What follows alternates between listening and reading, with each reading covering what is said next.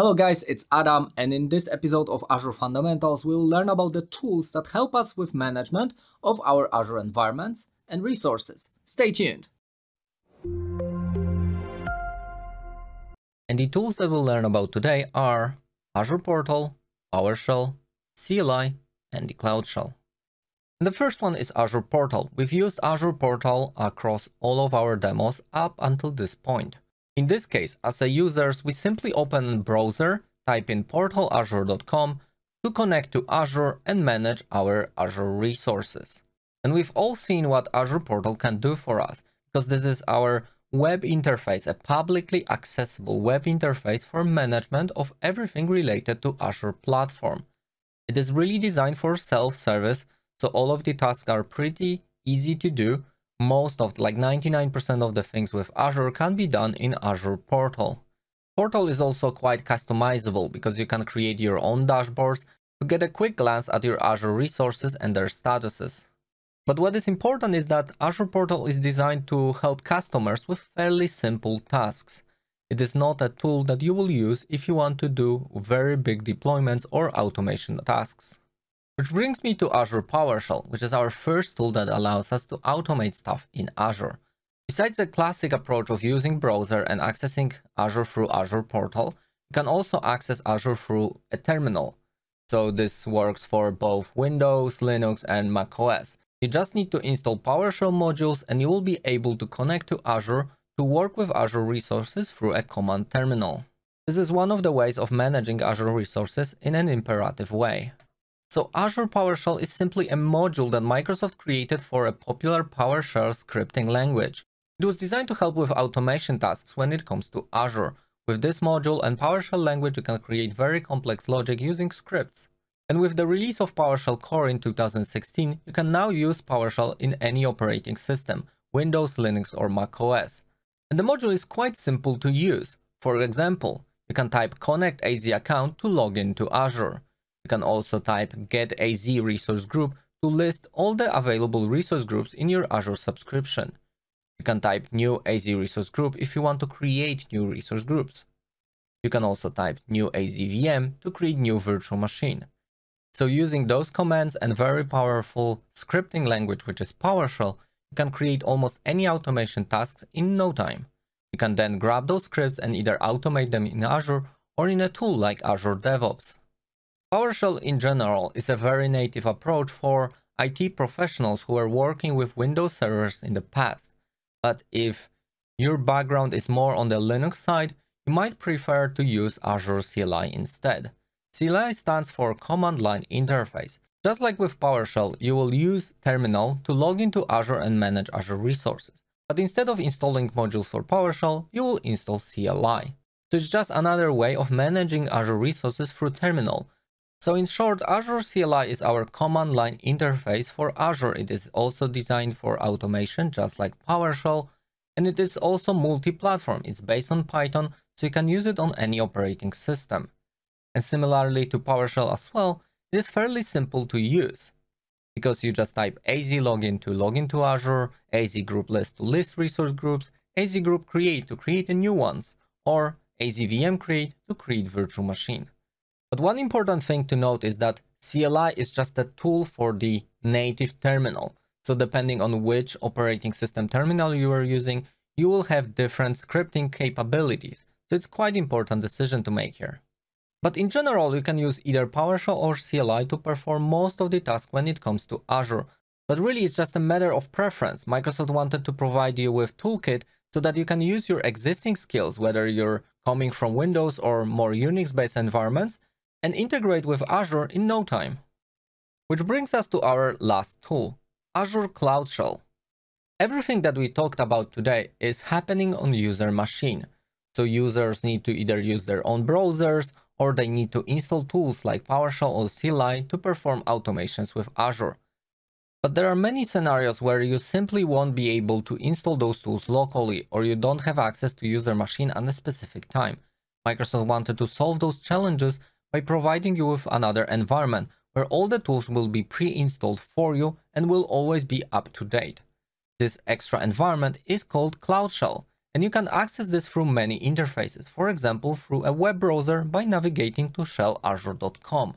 There are a lot of cool things about Cloud Shell environment. For example, it's based on Ubuntu container, so you get a lot of additional tools that come with Linux natively. You can of course use both PowerShell and CLI, depending on which do you prefer. And what's better, this environment is completely free. So you can perform your day-to-day -day operations directly from the browser without the need to install a single tool on your local machine.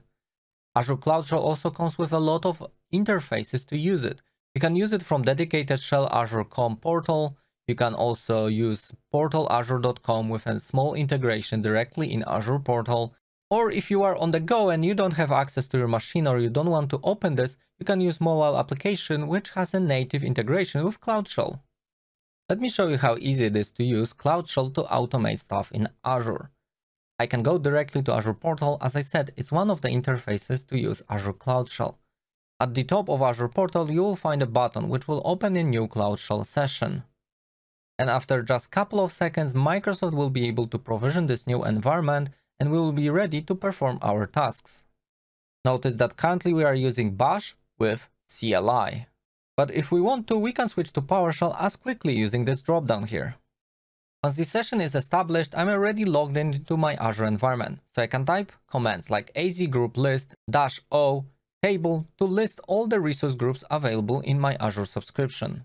I can also type az group create to create new Azure resource group by adding parameters like name to provide resource group name, let's say AZ900 CLI, dash dash location to provide the Azure region where the resource group will be located.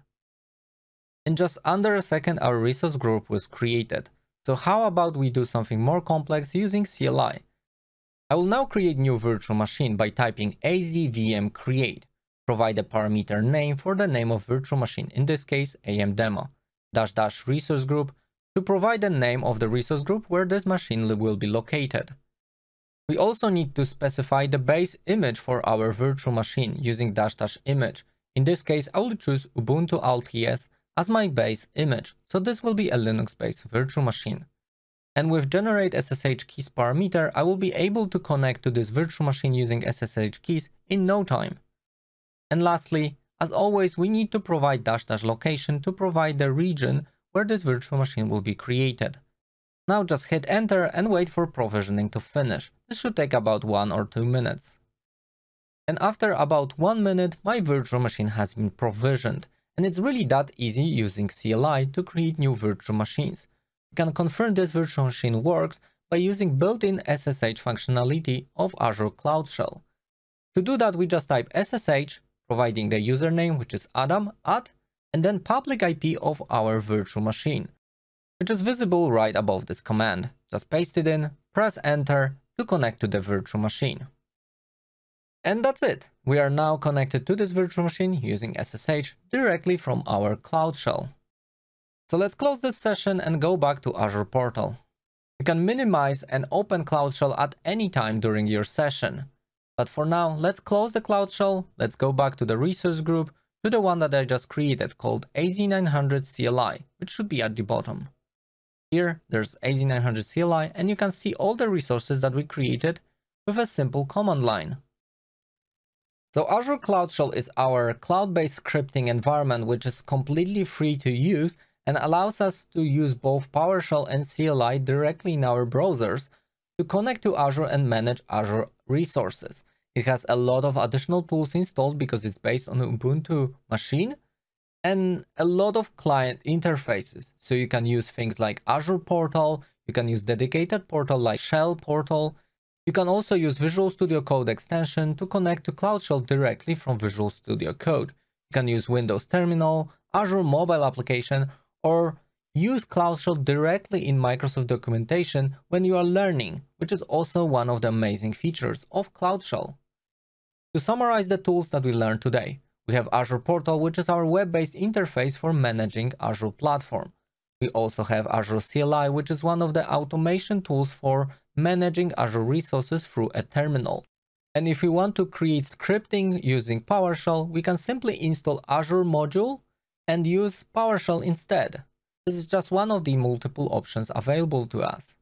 And lastly, we've learned about the cloud environment for scripting, which is Cloud Shell, to perform our day-to-day -day operations without a need to install anything on our local machines. All the materials for this episode can be found under episode 19 on my website.